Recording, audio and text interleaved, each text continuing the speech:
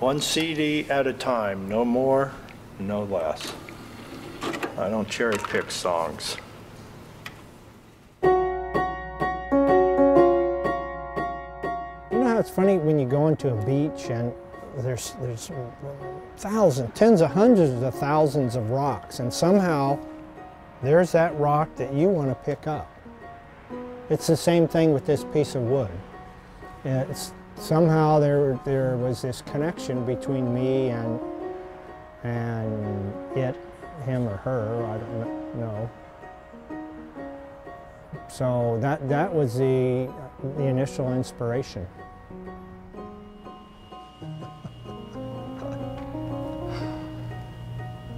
oh, who the fuck am I?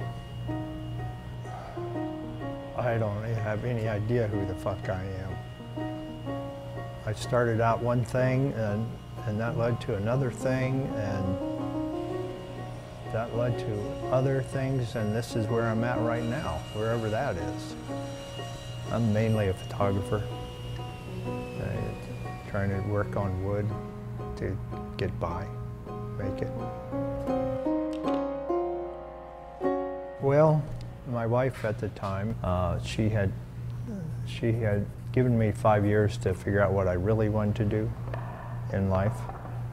Uh, when I was going to college, I started being a carpenter, and I always felt that was a temporary sort of job, which lasted 12 years. But I went down the list of occupations and uh, stopped at the P letter and their photographer. I'll be that.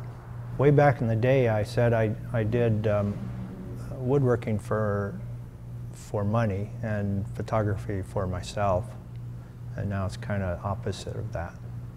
I'd wake up, images, images, thinking, photography, light, all that. And now I wake up, it's wood, joints, you know, how do I say something in, with the grain or the form or the structure of it? It started to really move in different directions.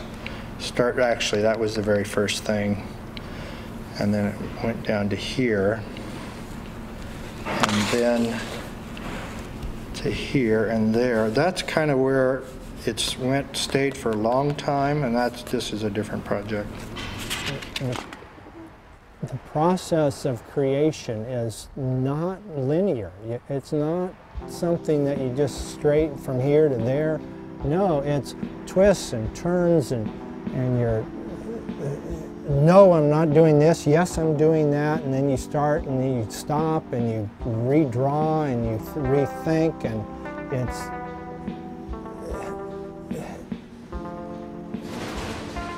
it's very fluid. I was watching an Italian film. Um, I forget the name. It translates as um, Tulips and Bread.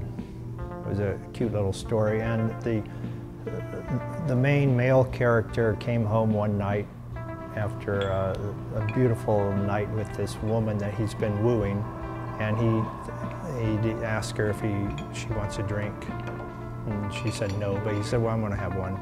So he went and opened up his liquor cabinet and I said, man, I want a liquor cabinet. This is a piece of wood that was um, uh,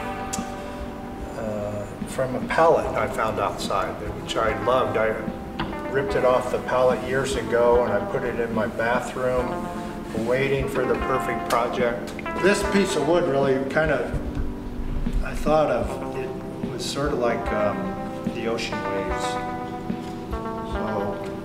So that's sort of driving the whole metaphor of the, of the piece.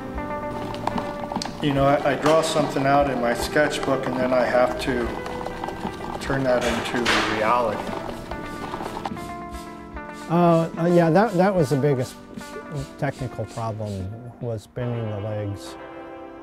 Each one was an adventure. So there were uh, four legs, each was a two glue up per half a leg, so that was uh, four, eight, 16 glue ups I did. Uh, you'd think they would have somehow settled into a, a, pattern or rhythm, but each one was, was separate. Each one required a different amount of sweat. to be applied to it. So what I do is I, I pull all the laminations from one end to the next to accommodate the, different radiuses involved. Well, that's the most time consuming. It's taken me almost two weeks to do this. So they will be glued together in this configuration. And that's one leg. And in my mind, that looks like a martini glass. The two sides of the, of the cabinet, I just couldn't resolve in my head what to do with those. And, and then I was walking by my music right behind here, and there's a, a, a book. The front of the book is, is uh, woodblock prints. So I, I said, man, I'm gonna, that's what I wanna do. I wanna do some woodblock printing, even though I've never done it before. For whatever reason, alcohol has somehow been right in there with the humans as they swam upstream through history. The archaeologists are finding wine barrels and, and wineries from 7,000 years ago. So it, I don't think there's a way we can separate alco alcohol and humans. And to create such a temple like I have, why is that not as good of a thing to worship as are these fictitious gods that everyone else worships?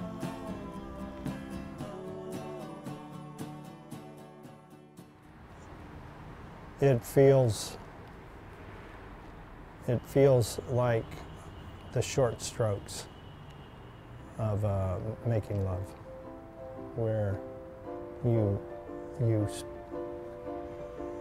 have spent a long time with the foreplay. You know, the drawing, the thinking, the drawing, the thinking, the thinking, the drawing, and then you start to make it. And you're still drawing and sketching and drawing and sketching and thinking and and uh, uh you're still making it and then, uh, oh, and then, you know, you're coming closer. Uh, it's done. Now it's just cleanup. It's, it's like the end of the school year where the summer's coming and man, you're free. You're free. Well, this um, actually is my very first drink I'm going to make I- I'm trying to A duet. to reinvent myself as far as how I get through life, i.e., to make money to get through life. Um, I've been a photographer since 1988, but it's becoming apparent that that won't be enough. This is strictly between you and me, Henry. But um, I mean, I, I gotta make some money out of this thing. It started out to be just for me. I, I'd been, uh, you know, doing this. I made a couple things for people. And I started something for my daughter, which took uh, a couple months. And I said, okay, man, I, I want to make something for me. And I started out, but uh, I, I have to, I have to get some money out of this somehow. It's, it's, you know, it, it, not a good thing to say. Oh no, can't no. Six grand's not gonna happen, baby. No, I need um, I need four figures at least for this. I, anything, right? Five figures. I'm talking. five figures. It's got to be five figures.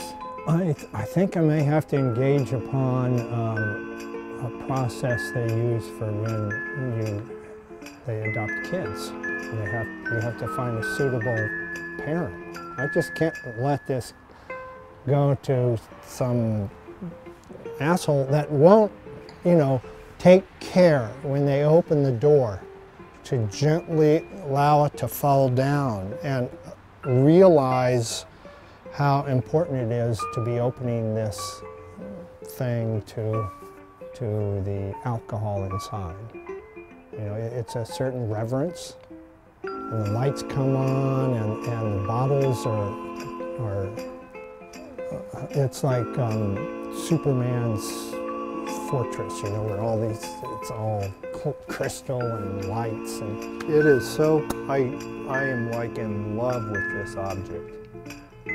Very few things I love as an object, but this is one of them. this is that valuable. I'll die if someone assures me it'll be in the MoMA under maker unknown. I don't want my name on it. This is early 2000s, maker unknown. Cut.